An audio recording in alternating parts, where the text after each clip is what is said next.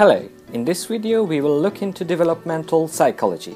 Developmental psychology examines the changes and developments in the person from conception till death. Developmental psychologists are specialists who got a bachelor's degree in psychology preferably and later on a master's and PhD degree in developmental psychology.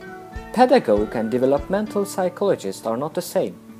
Pedagogues are specialists who are interested in education theory and practice. On the other hand, developmental psychologist examines the development through whole life, not just the education side.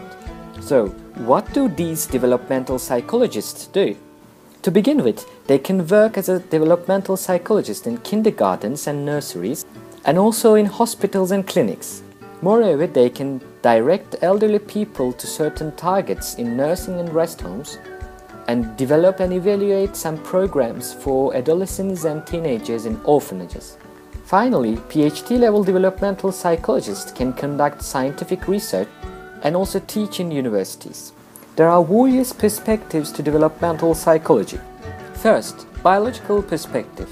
According to this school, child development is consisting of certain pre-programmed stages that can only be unfolded when the right time comes. For example, achieving bladder control in children in the toilet training requires bowel muscles to be ready. Second, psychodynamical perspective proposes that early childhood crisis determines the later development. For example, when a young child wants to take the toys of others, his id tells him to take the toy right away, but his superego tells him not to take the toy in any way because it belongs to someone else.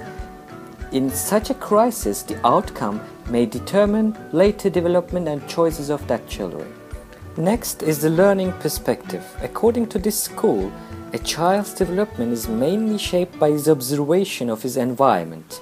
For example, there's a saying that the apple never falls far from the tree because the children usually observe their parent when they are growing. Next, cognitive developmental perspective. According to this one, child development is mainly shaped by his effort to perceive the outer world.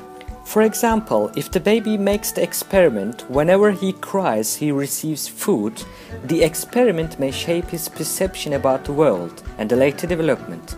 And last but not least, according to contextual perspective, the child development is mainly affected by child's social contextual environments.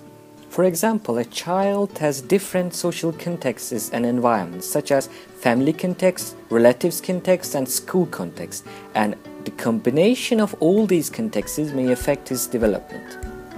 In this video, we talked about developmental psychology and its difference from pedagogy and the developmental psychologist and what do they do, and lastly, main perspectives in this subfield.